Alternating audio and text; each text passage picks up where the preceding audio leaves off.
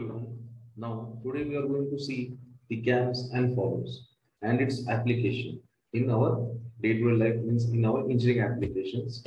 So here cams and follow is nothing but a cam it is a rotating machine element which gives reciprocating or oscillating motion to another element called as follower.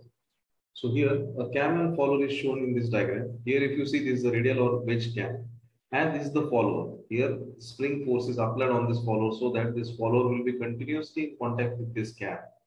So here rotary motion of cam will lead to oscillating or reciprocating motion of this follower in the guide way. And this spring, it keeps the follower to be in contact with the cam.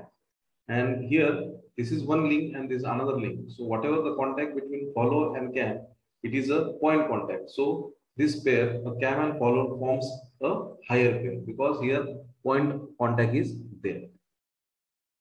Then next, classification of followers. Now followers they are classified as per three categories. In that first category is according to the contact of surface. So here first type of follower is knife edge follower. Second is roller. Third is flat face or mushroom and last is spherical. We will see in detail. So this is knife edge follower. So here the contact end of this follower with the cap will form a sharp edge or a point here. And so this is called as the knife edge follower. And due to this knife edge here, due to sharp end at the end of this follower, it will lead to excessive wear. So this type of follower is rarely used in practice or in our practical application. Then next is the roller follower. So here the contact end of the follower, it forms a circular that is a roller element. And this roller it particularly leads to uh, means it uh, there will be as compared wear and tear of this roller follower will be less as compared to the knife edge follower. So this type of follower is means roller follower is commonly used in practice.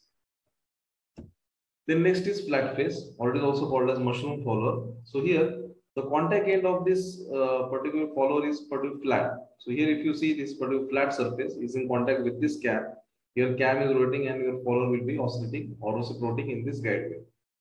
And if this flat face is replaced by one spherical shape, so then it is called as the mushroom follower. And what is the positive point that whatever the side thrust which is generating due to use of the knife and roller follower, it is been reduced by using this flat face follower. The next is spherical face follower. So here the name indicates the end surface of the follower will be spherical shape. Here if you see it is a spherical shape. Now and what is the positive point of this spherical face follower? That it tries to minimize the stresses which is induced due to the flat face. This, this is the positive point of this spherical face follower over the uh, uh, flat face follower. The next uh, classification of uh, follower is according to the type of motion.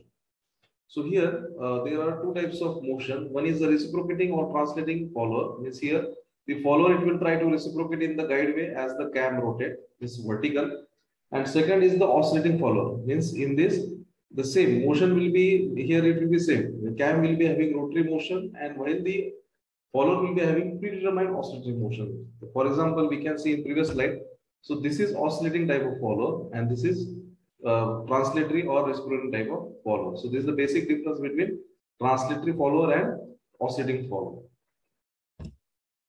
The next category is according to the path of motion. So here the, there are two types of follower. One is radial and another one is offset. So radial follower means the motion of the follower and the cam rotation is the cam axis and the follower motion axis. They will be in line. So that type of follower is called as radial follower. While in offset follower, here if you see, there is some eccentricity between the axis of the follower and the axis of the cam. So such type of eccentricity is nothing but what? It is called as the offset and this follower comes under the category of offset follower. So this is the basic difference between radial follower and offset follower. Now classification of cam. So cam, it is also classified according to the shape and according to the motion. So first of all, we will see according to the follower motion, how the cam is classified. So we will see detail in next slide. So first is DR, DRD. Means what is DR, DRD? It is nothing but dwell, rise, dwell, return, dwell. So this cap is uh, particularly explained, well explained in this graph. So in this graph, this is the y coordinate and this is the x coordinate. So this graph is used for plotting the displacement diagram for the follower motion. on which x-axis is having cam angle. As you know, cam is having a rotary motion. So whatever the angle traveled by the cam will be, obviously it will be 360 degree. And whatever the follow displacement, it will be vertical, it will be linear. So now dwell is nothing but your cam is standstill. Means your cam is not rotating, your follower is having no any motion.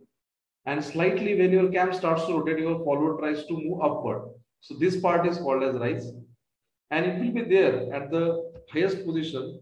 It will be there for some time that whatever the angle given by the cam, that part means standstill position is called as dwell. And again, for the further motion of the cam, the follower will come to its original position. So this path is called as return path and rest again it will come to its zero position that is dwell position. So here it is dwell, rise, dwell, return, dwell. So this is the first category of cam according to the follower motion. Second is DRRD means what? Dwell, rise, return, dwell. Again, this cam is now this follower motion. This, this cam is explained on the follower motion by this using this graph, where this is dwell means it is standstill position, the follower is at original position. Then cam is having certain angle. So it will now try to rise. And then it will try to, sudden there will be drop. There will be no any dwelling position at top side. So sudden there will be drop. This it will try to return to its original position and it will remain there further for dwell position. So it is called as dwell, rise, return and dwell. The next is RRR cam. So it is called as rise, return, rise cam. So here directly there will be rise, there will be no any dwell, again there will be return path, and then again further will be rise. So such type of cam is called as rise, return, rise cam. Now cam is classified according to the shape of the cam. So here if you see, this is the wedge cam, this is the follower, this is the wedge cam. It is like uh, having a slight edge at top side. So it will be having translatory motion. This wedge will be having translatory motion and follower will be having reciprocating motion. And this disc cam is also called as radial disc cam, which will be having total rotary motion and the follower will be having reciprocating motion. So this is the basic difference between wedge cam and the disc cam. This disc cam is also called as radial disc cam. The next is your cylindrical or drum cam. So here the cylindrical here the follower will be having oscillating motion and here the follower will be having translatory motion. So depending upon the application, the cylindrical cam is used where the follower will be having oscillating motion or where it will be having translatory motion. So such type of cam is called as cylindrical or drum cam. Then next is globoidal cam. So globoidal cam as name indicates it is like spherical surface in which there will be two types of surface. One will be convex surface which one will be converging towards the center and in this concave surface, it will be away, means it will be going away from the center. So here, this is the follower. These two are the followers, and they are particularly having this motion through the slot. So such type of cam is called as what? Globoidal cam. So this type of cam is rarely used in practical application. Then next is conjugate or double disc cam. So in this double disc cam means here will be two discs. So this is cam disc one which is shown here and this is the cam disk 2. So this follower will be in contact with the first or first cam also with the second cam. So such type of cam is called as conjugate or double disc cam where the follower will be in contact with the two disc or two cam. Thank you.